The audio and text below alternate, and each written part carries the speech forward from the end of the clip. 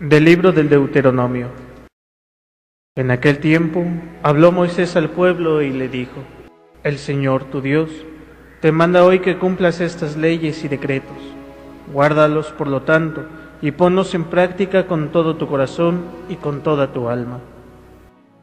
Hoy has oído al Señor declarar que Él será tu Dios, pero solo si tú caminas por sus sendas, guardas sus leyes, mandatos y decretos, y escuchas su voz Hoy el Señor te ha oído declarar que tú serás el pueblo de su propiedad, como Él te lo ha prometido, pero solo si guardas sus mandamientos.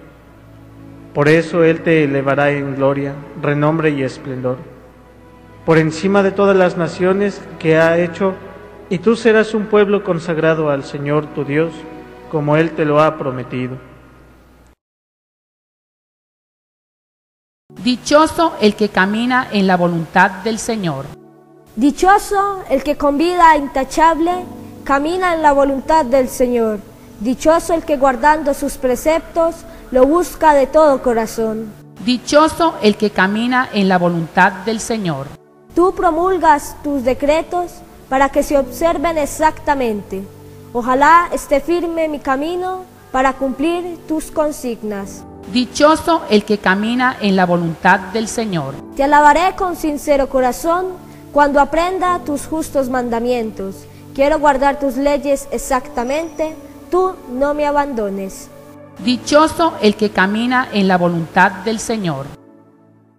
Evangelio según San Mateo.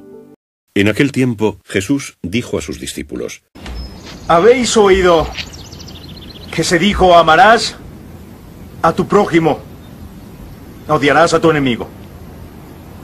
Mas os digo, amad al enemigo y rogad por los que os persigan, para que seáis hijos de vuestro Padre Celestial, que hace salir su sol sobre malos y buenos y llover sobre los justos y los injustos.